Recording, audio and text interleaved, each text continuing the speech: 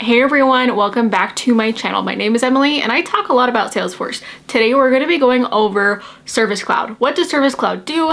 What are the basic tenets of Service Cloud? And how can you get certified? So Service Cloud is going to cover customer service and customer success and making sure that your customers are being, this is, sounds weird, but making sure that your customers are being serviced in the right way.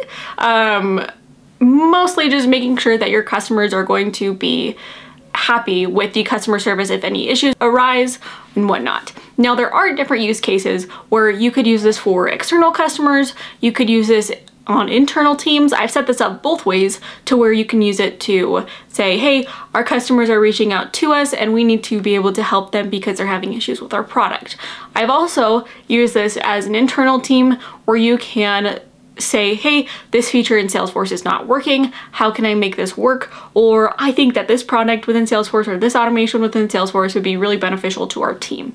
Both cases can be used. Now, these are not the only cases that you can use it, but these are going to be the most common cases that I've seen for teams. It's either going to be external or internal. Sometimes you'll have partners who can also submit cases, but this is just depending on the scenario where Service Cloud is being used. Now, typically Service Cloud is going to come with Salesforce when you are getting a Salesforce package of Sales Cloud, and then you'll also have Service Cloud. Now, these two clouds can work in tandem, so once you have closed a deal, closed won a deal, then you can move it off to the customer success team or your customer service team to get the client onboarded, to get their packages delivered, and making sure that your customers are happy with the product that they have ordered and received or with the product that you are giving them as a SaaS product. Now let's talk a little bit about the objects of Service Cloud. These are going to be some of the same objects that you find on Sales Cloud, mainly the account object as well as the contact. And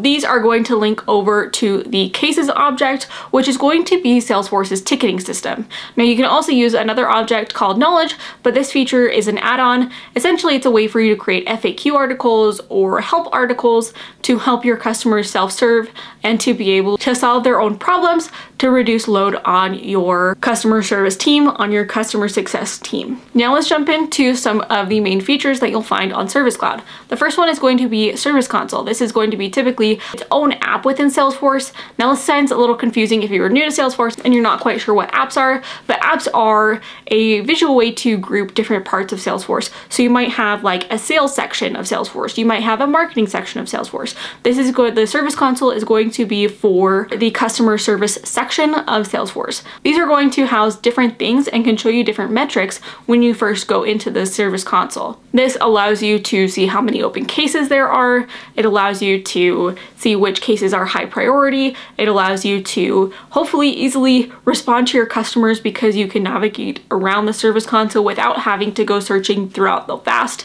organization that Salesforce is. Well, let's jump into case management. So cases, like I said previously, are going to be the ticketing system within Salesforce. Now, while cases by itself is pretty bland as far as an object goes. There's not a lot of different pieces of information. You're just going to be communicating with the person. You have like your ticket number, you have your ticket priority, which can be really important to your workflow and understanding which cases, which tickets need to be serviced first. But where cases really shines is in the different automations that you can add on to cases to be able to manage it better. You can use different things like entitlements and milestones within Salesforce, which helps you to reach your service level agreements with your customers. You can use case escalation rules to help you um, move your cases up in priority to help you meet those SLAs. So let's take an example here. Let's say that you are using Salesforce internally for your IT team. And so you have a ticket that comes in from a high level person and based upon their role within your organization, their ticket is automatically classified as a high priority for your team and that that particular ticket should be serviced first when it comes to the next person available for servicing those tickets. So what you could do is based upon a number of business hours or based upon uh, the number of communications or a different metric, you can escalate that or notify different people within the organization about this ticket and about this issue. Now this could be used to move different tickets if let's say a low level ticket has been open for longer than a week, then let's move it up to a mid-level priority. So then we're not letting a ticket sit sit in the system for weeks, months, years, that is a fairly simple issue to fix. And if it's not a fairly simple issue to fix, then it should be moved on to other teams who have the bandwidth and the knowledge to service that. Another automation that you can do are uh, the different import of tickets. You can set up an email to case where your customers are emailing a certain email. Typically this is going to be like support at companyname.com um, and then it will be going into their ticketing system and then being prioritized based upon the issue. You can also set up a web to case where people are filling out a form and then saying, hey, this is my issue, this is how you get in contact with me, and then setting up the automation emails from there to go back and forth between you and the customer to be able to service them quickly and within their priority. But those are going to be the main hallmarks of the case management system. Another feature that I briefly touched on is going to be the knowledge base. So knowledge is going to be an add-on to Service Cloud where you are able to create FAQ articles or help articles for your customers to self-serve. Or what you could also do is then on those emails that you can send them like, hey, let's have you try this walkthrough to see if that helps you solve your problem and then we can go from there if it doesn't and if if it does then we can close out this case and problem solved. typically what i like to use knowledge for is this scenario itself where you can say, hey, we're getting a lot of questions about how to use this specific product, how to set up this specific thing, and then taking that topic or that setup, and then you are able to set that up in an FAQ article to reduce the load on your customer service team. This is where reporting comes in really handy to where you're able to understand what type of cases we're getting and how you can reduce the load and create more efficiency within your customer service department. This is also great because it creates a centralized knowledge hub for your customer service agents to then say, hey, these are the steps to go do. Or you can send that knowledge article to the customer for them to go do. Or to just not have to go and Google endlessly and find really random videos on the internet to how to so how to solve your problem but this creates a great first step for them to go find what they're looking for. Now, another piece of Service Cloud is going to be omni-channel routing and using omni-channel, which is going to be a way to match your customers and their issues to the right customer service agent, customer support agent to their needs. Now, you're gonna have customers reaching out through a variety of different means. It could be phone, it could be email, it could be chat, it could be social media.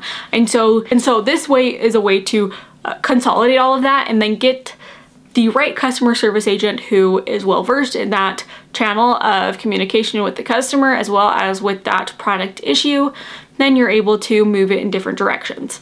Let's say you have three different customer service agents. You have one that's working with the red product, your one that's working with the green product, and one that's working with the blue product. Now, what you could do is you could set this up where, hey, if they mention issues with the red product, then let's route that to the red customer support, customer service person because they have more knowledge in that.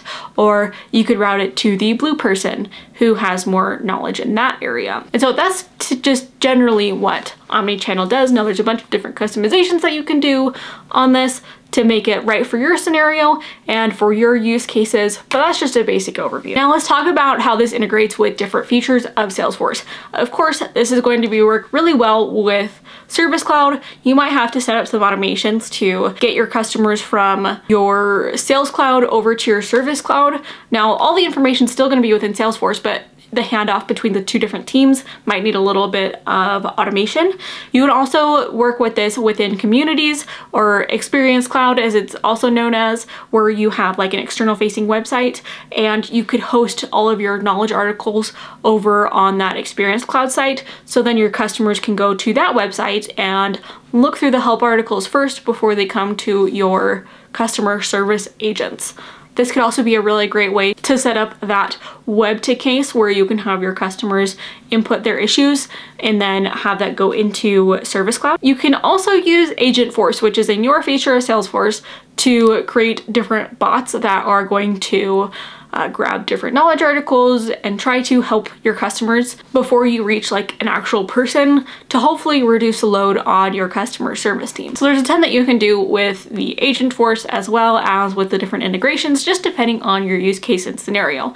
Now, I do recommend that if you are going to be using it for multiple use cases, like let's say you're using it for both your internal ticketing system as well as an external ticketing system, I would recommend that you utilize the different types and record types and the different page layouts that you can use to uh, delineate between the two so then you're not filling out information or getting them confused because you might have a different internal ticketing team versus an external ticketing team. Like those two could be widely different. Like you could be using an internal for IT and then you could be using external for customer support.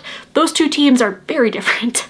And so you don't want to mix those up. Some of the benefits that you can see when you are using Service Cloud, depending on your setup, is going to be enhanced productivity, especially if you're using the different automation tools and you're setting up those up correctly. You can have reduced operational costs because your customers are finding their own solutions so you don't have to have as many customer support people. You can also have greater support times you can have greater customer happiness and customer satisfaction with using Service Cloud. Now let's talk a little bit about the certifications that you can get for Service Cloud uh, within Salesforce if you are an admin or someone who's looking into getting Sales Cloud certified. So I would recommend at least getting your first few certifications so you understand the basic tenets of Salesforce, which I would recommend to be the associate certification and then getting the admin certification both of these may touch on customer service in a permissions kind of way is what I remember from the certification exams. But beyond that, you would probably look to getting the Service Cloud Consultant certification to show that you have knowledge within Service Cloud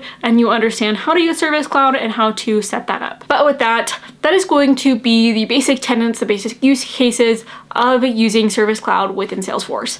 Now this can be a really powerful tool if it's set up correctly. If not, it could be a fire and you're trying to figure out how to service your customers correctly. But personally, I think that this is a great tool within Salesforce and a bonus, if you're already using Sales Cloud and you're already using the other features of Salesforce, then it's fairly easy to put on Service Cloud on top of that. I hope that you found this video helpful. If you did, be sure to give it a like, subscribe. You can connect with me on LinkedIn at Emily Call MBA. The link will be down in the description. You can also check out my Salesforce certification prep courses on Salesforce Upskill, Udemy Business, and LinkedIn Learning. Thank you so much. I'll catch you guys in the next one.